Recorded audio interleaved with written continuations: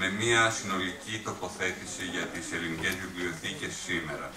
Μαζί μας είναι η Μαρία Κορκίδη, βιβλιοθηκονόμος και προϊσταμένη της Δημοτικής Βιβλιοθήκης Καρατσίλης και Τραπεζόνα, η Σταματίνα Ιτσάφου, αναπληρώτρια καθηγήτρια του στο τμήμα Βιβλιοθηκονομίας και Συστημάτων Πληροφόρησης στο ΤΕΙ της Αθήνας, η Ρένα Ιχορέμη Θωμοπούλου, βιβλιοθηκονόμος, μουσιοπαιδαγωγός και μουσιολόγος και διαχειρίστρια πολιτισμού.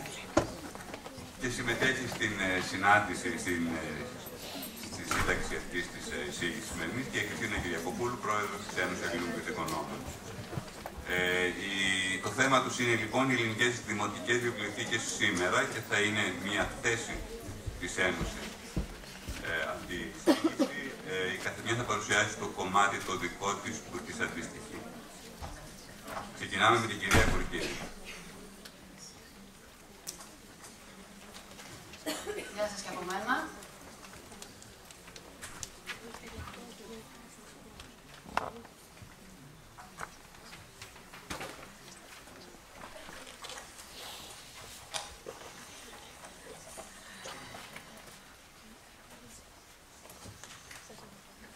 Το θέμα μας είναι οι ελληνικές δημοτικές βιβλιοθήκες σήμερα. Ε, η οικονομική κρίση έχει έρθει στη ζωή μας και έχει σαρώσει τα πάντα. Βεβαιότητες, πεπιθήσεις και προβλέψεις. Εκτός όμως από οικονομική, είναι και μια ολική κρίση κουλτούρας και πολιτισμού που έχει τις εκφάσεις της στο πολιτικό σύστημα και στις κοινωνικές σχέσεις. Στον πολιτισμό αυτό καθεαυτόν. Αυτά τα παιδεία τροφοδοτούν με την κρίση του το ένα το άλλο και όλα μαζί σε ένα χώρο του ζαλόγου μας οδηγούν όλους σε μια σπυροειδή κατηφόρα, όπως είχε πει χαρακτηριστικά ο Νίκος Θέμελης. Σε μια τέτοια εποχή βαθιάς κρίσης, οι βιβλιοθήκες δεν θα μπορούσαν να μένουν ανεπηρέαστε. Παλιότερα, οι εικόνες σαν αυτές που βλέπουμε θα φάνταζαν στα μάτια μας εξωπραγματικές. Σήμερα, πολλές βιβλιοθήκες αντιμετωπίζουν τεράστια οικονομικά προβλήματα. Οι εργαζόμενοι σε αυτές κατεβαίνουν στους δρόμους, διεκδικώντας το αυτονόητο. Τη συνέχιση της ύπαρξης των βιβλιοθηκών και την εξασφάλιση των θέσεων εργασίας. Ο Ντιούι μπορεί να περιμένει. Οι προτεραιότητες έχουν αλλάξει. Προέχει ο αγώνας για την επιβίωση των βιβλιοθηκών. Οι βιβλιοθηκονόμοι προσπαθούν να αποτρέψουν το χρονικό ενός προαναγγελθέντος θανάτου. Δίνουν μάχη σε έναν αγώνα με αβέβαιο αποτέλεσμα. Ίσως γιατί ο πολιτισμός τη μέρες μας φαντάζει πολυτέλεια. Οι βιβλιοθήκες και οι γνώσεις που προσφέρουν περιττές. Οι σκεπτόμενοι πολίτες ανεπιθύμητοι. Μέσα λοιπόν σε αυτές τις εξαιρετικά δύσκολες συνθήκες, σαν κερασάκι στην τούρτα, έρχεται και η εφαρμογή του αγαπημένου μας Καλλικράτη. Ο Καλλικράτης τώρα. Ε, σύμφωνα με τον Καλλικράτη, ο αυτοδιοικητικός χάρτης της ε, χώρας αλλάζει. Η νέα αρχιτεκτονική της αυτοδιοίκησης και της αποκεντρωμένης διοίκησης επηρεάζει το σύνολο της δομής και λειτουργίας των ΟΤΑ. Μαζί τους βέβαια επηρεάζεται η δράση και η λειτουργία των δημοτικών βιβλιοθηκών, καθώς αποτελούν αναπόσπαστο στοιχείο των ΟΤΑ.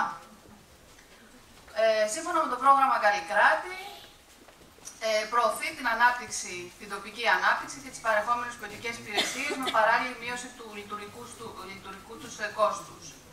Ο Καλλικράτης ενώνωσε πάνω από χίλιους παλιούς δήμους και κοινότητες σε 325 νέους δήμους. Η στόχη του Καλλικράτη είναι η αποκεντρωμένη διοίκηση και ο καλύτερος οικονομικός έλεγχος.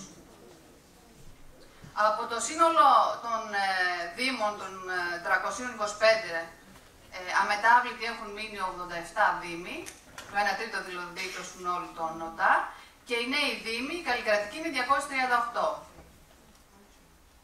Ε, τώρα, σύμφωνα με τον Καλλικράτη, ένας μεγάλος δήμος θεωρείται αυτός που έχει από 60.000 ε, κατοίκους και πάνω, ένας μεσαίος προς μεγάλος από 30 έως 60.000 κατοίκους, από 10 έως 30.000 είναι μικρός προς μεσαίος και ε, μικρότεροι των 10.000 κατοίκων ε, θεωρούνται μικροί δήμοι.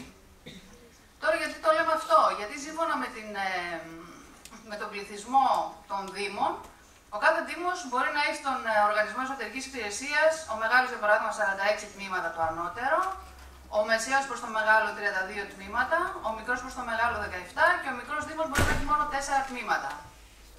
Ε, υποχρεωτικά πρέπει ε, οι υπηρεσίες μονάδων Δήμου που βλέπετε να εντάσσονται σε κάθε Δήμο. Δηλαδή ανάπτυξη, οικονομική υπηρεσία, τεχνική ε, και αυτό που μας ενδιαφέρει, το τμήμα παιδείας, πολιτισμού, αθλητισμού και νέας γενιάς. Ο κάθε Δήμος μπορεί να έχει ως δύο νομικά πρόσωπα. Ένα για τους τομείς κοινωνικής προστασίας και ένα για τους τομείς του πολιτισμού, του αθλητισμού και του περιβάλλοντος. Εάν ο Δήμος ε, έχει και μια κοινοφελή υπηρεσία, όπως πολλοί ξέρετε ότι έχουν ε, πολλοί Δήμοι ε, κάποια κοινοφελή επιχείρηση, τότε μπορεί να έχει μόνο ένα νομικό πρόσωπο. Ε, τώρα με απόφαση του, Υπουργείου, του Υπουργού Εσωτερικών ε, μπορεί ε, να διατηρηθεί ως αυτόνομο νομικό πρόσωπο ε, κάποιο νομικό πρόσωπο που έχει ε, μακρόχρονη απόδοση έργου, έχει γενικότερη καταξίωση κτλ. Ε, κάνοντας χρήση αυτού του άρθρου του 103, ορισμένες βιβλιοθήκες έκαναν έτοιμα να παραμείνουν αυτόνομα νομικά πρόσωπα και έτσι σήμερα έχουμε ε, στον Καλλικράτη 70 νομικά πρόσωπα αυτόνομα και μέσα στα 70 αυτά υπάρχουν 5 βιβλιοθήκες που έχουν μείνει αυτόνομες. Η βιβλιοθήκη Μουσικό, ε, Μουσείο Λαϊκής Τέχνης και Ιστορίας του Δήμου Σαλαμίνας, στο Δήμο Κοζάνης Κοβεντάριος Δημοτική Βιβλιοθήκη, στο Δήμο Πάτρας στη Δημοτική Βιβλιοθήκη Πολιτιστικός Οργανισμός, στο Δήμο Θερμαϊκού Δημοτική Βιβλιοθήκη Γεωργίου και Κατερίνης Καβούνη, και στο Δήμο Αγίας Παρασκευής, στη Δημοτική Βιβλιοθήκη Αγίας Παρασκευής και Μουσείο Αλέκος Κοντόπουλος. Ε, αυτές οι πέντε βιβλιοθήκες είναι αυτόνομα νομικά πρόσωπα δημοσίου δικαίου. Για να δούμε τώρα κάποια παραδείγματα οργανισμών εσωτερικής υπηρεσίας των Δήμων και ποιες είναι οι θέσεις των δημοτικών βιβλιοθηκών σε αυτούς. Καταρχήν να αναφέρουμε ότι ένας οργανισμός εσωτερικής υπηρεσίας κάθε Δήμου καθορίζει με απόλυτη σαφήνεια τις υπηρεσίες, τις αρμοδιότητες, τη στελέχωση, τις ειδικότητες των εργαζομένων, την οργάνωση των Δήμων και διασφαλίζει τη λειτουργικότητα και τη διαχειριστική αρτιότητα ε, των υπηρεσιών κάθε Δήμου. Ε, δεν έχουν ολοκληρωθεί όλοι η κατάρτιση όλων των οργανισμών εσωτερικής υπηρεσίας στην Ελλάδα. Ε, έχω βρει κάποιους μεγάλους δήμους και τους παραθέτω σαν παραδείγματα. Έχουμε καταρχήν το Δήμο Θεσσαλονίκης, ε, που τις βιβλιοθήκες τις έχεις σε διεύθυνση μέσα στον ε, Δήμο και ε, από ό,τι έχω βρει από την έρευνά μου είναι ο μοναδικός Δήμος που έχει διεύθυνση βιβλιοθηκών. Και όπως βλέπετε μετά υπάρχει το Δήμο Κεντρικής Βιβλιοθήκης, οι περιφερειακές, οι παιδικές βιβλιοθήκες κτλ. Ε, ο Δήμος Πειραιά, για παράδειγμα, ενώ ήταν διεύθυνση βιβλιοθηκών, προ-Καλλικράτη, ε, σήμερα βλέπουμε ότι υπάρχει διεύθυνση πολιτισμού και εντάσσει τη βιβλιοθήκη του σε τμήμα. Άρα εδώ έχουμε μία υποβάθμιση, μπορούμε να πούμε. Ο Δήμος Καρατσινίου Δραπετσόνας έχει διεύθυνση κοινωνικής προστασίας, παιδεία και πολιτισμού και εντάσσει και αυτός σε τμήμα τη Δημοτική Βιβλιοθήκη, τα αρχεία και τα μουσεία. Ο Δήμος Καλυθέας επίσης έχει διεύθυνση πολιτισμού, παιδείας και νέας γενιάς και εντάσσει ε, τη βιβλιοθήκη σε τμήμα και αυτός. Ο Δήμος Χανίων επίσης, βλέπετε ότι διαφέρουν λίγο ε, στις διευθύνσεις, ε, μπορεί να είναι κοινωνική προστασία, μπορεί να είναι γενιά, άλλη είναι παιδεία και πολιτισμού. Πάνω κάτω οι διευθύνσεις έχουν ε, την ίδια ονομασία. Και εδώ έχουμε την βιβλιοθηκών. Στο Δήμο Ηρακλείου, επίσης, στη Διεύθυνση Παιδείας, Πολιτισμού και Νέας Γενιάς, έχουμε το τμήμα της Μικελαίας Βιβλιοθήκης και διάφορα άλλα τμήματα μέσα στη διεύθυνση, πολιτισμού, παιδείας κτλ. Επίσης, ο Δήμος Νίκαιας Ρέντι, εδώ έχουν καταφέρει και έχουν βάλει τη λέξη βιβλιοθήκη μέσα στη διεύθυνση, δηλαδή είναι παιδεία και βιβλιοθηκών, υπάρχει και σαν λέξη πια. Υπάρχει το τμήμα βιβλιοθηκών, μουσείων, ε, πινακοθηκών και ιστορικού αρχείου. Εδώ βλέπουμε στο Δήμο Αχαρνών μία περαιτέρω υποβάθμιση. Δεν έχουμε πια τμήμα, όπως βλέπετε, έχουμε γραφείο. Γραφείο βιβλιοθήκης. Που εντάσσεται στο τμήμα πολιτιστικής εκπαίδευσης.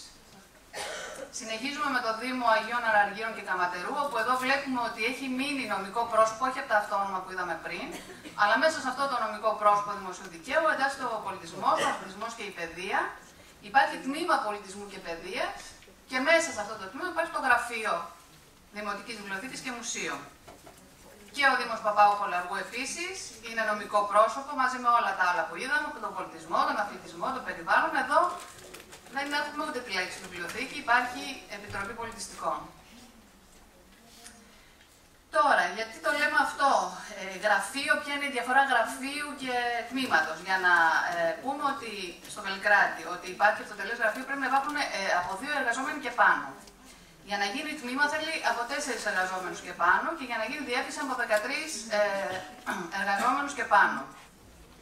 Από μία έρευνα που είχα κάνει στο πλαίσιο της διπλωματικής μου, ε, από τις 286 βιβλιοθήκες, δημοτικές, αμυγός, ούτε κοινοτικές, ούτε ιδιωτικές, ούτε δημόσιες κτλ. Οι 194 από αυτές ήταν ενεργές, οι 92 υπήρχαν μόνο στα χαρτιά και από αυτές υπάρχει ένα δείγμα ε, 100 βιβλιοθηκών οι οποίες απάντησαν. Ε, από αυτή την έρευνα μπορούμε να βάλουμε κάποια συμπεράσματα για να δούμε και πώς ε, τελικά εξελίχθηκαν ε, οι οργανισμοί των, ε, των Δήμων. ο αριθμός των μόνιμων εργαζόμενων στην βιβλιοθήκη στο 33% αυτών που απάντησαν δεν είχαν κανένα. Το 28% μόνο ένα. Το 15% δύο και όπως βλέπετε και εσείς τα υπόλοιπα στοιχεία. Μιλάμε για μόνιμους εργαζόμενους στην βιβλιοθήκη. Τώρα, ο αριθμός του εξειδικευμένου προσωπικού βιβλιοθηκονόμων στη βιβλιοθήκη, μιλάμε καθαρά για βιβλιοθηκονόμους, το 38% είχαν έναν και το 27% κανένα. Δηλαδή, από το δείγμα των 100 βιβλιοθηκών, 27 βιβλιοθήκες ε, λειτουργούσαν ε, ουσιαστικά χωρίς κανέναν βιβλιοθηκονόμο, χωρίς κανέναν εξειδικευμένο ε, εργαζόμενο. Ε, και προ-Καλλικράτη βέβαια, το 61% των βιβλιοθηκών ήταν νομικά πρόσωπα δημοσίου δικαίου, ανεξάρτητα. Το 21% ήταν μέσα στους Δήμους διευθύνσεις ή τμήματα. Το 10% διευθύνσεις ή τμήματα δημοτικών επιχειρήσεων. Το 3% πνευματικά κέντρα και το 2% κληροδοτήματα. Όπως καταλαβαίνετε, με αυτά τα δεδομένα ε, υπάρχει μία, ε, με την εμπειρία υλοποίησης του προγράμματος, καθίσταται δυνατή μια πρώτη αποτίμηση. Καταρχήν, εντοπίζονται αδυναμίες και αριθμίες στο νέο οργανωτικό σχήμα του Καλλικράτη. Είναι προφανές ότι ο πολιτισμό ήταν απόν από το σχεδιασμό του νομοθετήματος. Ε, η λέξη βιβλιοθήκη σε όλο το κείμενο του Καλλικράτη παρουσιάζεται μόνο μία φορά. Και αυτό για να ε, αναφέρεται στις σχολικές βιβλιοθήκες, ε, όχι στις δημοτικές βιβλιοθήκες.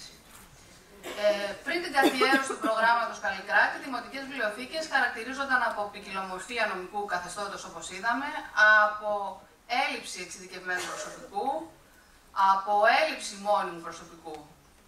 Ε, τα παραπάνω στοιχεία, όπως διαπιστώνουμε, όχι μόνο παραμένουν, αλλά με τις μέχρι τώρα εξελίξεις διαφαίνεται επιδείνωση αναφορικά με την ύπαρξή τους. Προ-Καλλικράτη, το 61% όπως είπαμε των βιβλιοθηκών αποτελούσαν αυτόνομα νομικά πρόσωπα. Ε, αυτά σήμερα ανέρχονται μόλις στα πέντε που ε, είδαμε πριν. Τα υπόλοιπα συνεπάρχουν με διαφορετικές υπηρεσίες των Δήμων. Ε, και λαμβάνοντας υπόψη το πάγωμα των προσλήψεων και άρα του εξειδικευμένου προσωπικού βιβλιοθήκη αλλά και την κατάργηση των κενών οργανικών θέσεων, ε, νομίζω ότι η κατάσταση μόνο αισιοδοξία δεν μπορεί να μας προκαλέσει. Οι περισσότεροι Δήμοι μετά τον Καλλικράτη εντάσσουν την κοινωνική προστασία, τον πολιτισμό, τον αθλητισμό, τη νέα γενιά, την εκπαίδευση, όλα αυτά μαζί σε ένα μεγάλο δυσλειτουργικό μηχανισμό που πρέπει να αποφασίσει τα επιμέρους προγράμματα. Συνέπεια αυτού του ισοπεδωτικού συμψηφισμού μπορούμε να πούμε ότι είναι η αποδυνάμωση των δημοτικών βιβλιοθηκών, ε, είναι η υποβάθμιση των παρεχόμενων υπηρεσιών των βιβλιοθηκών, η απαξίωση των εργαζομένων και η στασιμότητα των δραστηριοτήτων των βιβλιοθηκών. Ε, πρέπει οι αιρετοί να καταλάβουν ότι οι σύγχρονες κοινωνίες και οικονομίες πρέπει να συνδέουν την ανάπτυξή τους με τη χρήση υψηλής ποιότητας ε, υπηρεσιών ε, πληροφόρησης. Η πληροφορία άλλωστε αποτελεί το νόσημα της δημοκρατίας. Ε, με τα μέχρι τώρα δεδομένα, οι εργαζόμενε βιβλιοθήκες θα πρέπει να δίνουν καθημερινές μάχες με το τμήμα, τον ΚΑΠΗ για παράδειγμα, γιατί όπως είδαμε ότι όλα μαζί τα έχουν βάλει, έτσι μόνο από το Καλλικράτη. Ε, με τα ΚΑΠΗ, με τους παιδικούς σταθμούς ή το αθλητικό τμήμα διεκδικώντας χρηματοδότηση. Ε, και αυτό γιατί, όπως είπαμε, στις περισσότερες περιπτώσεις όλα τα παραπάνω συνεπάρχουν με δεδομένες τις ασφικτικές οικονομικές συνθήκες της τοπικής αυτοδιοίκησης, το δίλημα αγορά νέων εκδόσεων βιβλίων για τη δημοτική μας βιβλιοθήκη ή έγκριση δαπάνης για εκδρομή των ΚΑΠΗ, η απάντηση των ερωτών οι οποίοι και παίρνουν τις αποφάσεις νομίζω προδιαγεγραμμένες. Και αυτό γιατί τα ΚΑΠΗ, για παράδειγμα, αποτελούν παραδοσιακά δεξαμενές ψήφων για τους ερετού. Ενώ οι μαθητές που κάνουν χρήση των βιβλιοθηκών και οι οποίοι δεν έχουν ακόμα δικαίωμα ψήφου οι σκεπτόμενοι πολίτες που δύσκολα πείθονται με επιφανειακές δράσεις δεν αποτελούν προτεραιότητά τους. Βέβαια δεν πρέπει να είμαστε ισοπεδωτικοί, δεν είναι ευτυχώς όλοι οι αιρετοί αυτής της λογικής. Υπάρχουν και ευνευσμένοι άνθρωποι στην τοπική αυτοδιοίκηση και όπου υπάρχουν γίνονται σημαντικά πράγματα. Ε, στόχος μας, ως υπεύθυνοι των βιβλιοθηκών, είναι να πείσουμε και τους υπόλοιπους, τους κοντόφθαλμας και τόμους, προς μια διαφορετική κατεύθυνση.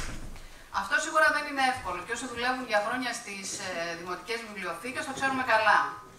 Ε, ίσως μερικοί από εμάς να έχουν κουραστεί και να έχουν απογοητευτεί πολλές φορές από τη στάση των εκάστοτε δημοτικών αρχών, όμως αν σταματήσουμε να προσπαθούμε θα σταματήσουμε να υπάρχουμε. Στη σημερινή δύσκολη οικονομική συγκυρία κάθε μέρα πρέπει να αποδεικνύουμε τον λόγο ύπαρξής μας. Το, την ίδια ακριβώς έκφραση άκουσα πριν από λίγο από το μαχητικό συνάδελφο τον Δημήτρη τον Σταματέλο για τις προσπάθειες που, καταλα... που καταβάλει στη βιβλιοθήκη της Λέρου. Ότι κάθε μέρα πρέπει να αποδεικνύω τον λόγο ύπαρξής μου. Ε, οι βιβλιοθηκονόμοι διεθνώς έχουμε τη φήμη των ήρεμων και των πολιτισμένων ανθρώπων. Πιστεύω ότι ήρθε η ώρα να γίνουμε και δυναμικοί και διεκδυτικοί και εξωστρεφείς ε, να κάνουμε αισθητή την παρουσία μας. Την κρίνια που συχνά μας χαρακτηρίζει, να τη μετατρέψουμε σε θετική ενέργεια. Να μην ανακυκλώνουμε την ητοπάθεια και τη μιζέρια που ξεχυλίζει γύρω μας. Να κάνουμε μότο μας αυτό που είχε πει ο Steve Jobs, αυτό που έλεγε στους φοιτητές του. Και ελπίζω, όπως έλεγε ο Νίκος Τέμελης, η κρίση να γίνει μια ευκαιρία για να κτίσουμε, να κτίσουμε αυτή τη συγκυρία Ποια συγκύρια δηλαδή, η Σπάνια που όλοι μαζί θα πέσουν ενσυνείδητα και ομόψυχα σε μια τέτοια προσπάθεια για να κινητοποιήσουν την κοινωνία, να πραγματοποιήσει μια μεγάλη πολιτισμική ανατροπή και να ανοίξει τους νέους δρόμους. Ε, μπορεί η κρίση να φέρει ευκαιρίες. Όπως και να έχει, ελπίζω ότι αυτό που βλέπουμε στην οθόνη μας, να μην το δούμε σε λίγο στις δημοτικές μας βιβλιοθήκες. Ε, ευχαριστώ πάρα πολύ. Ε, η κυρία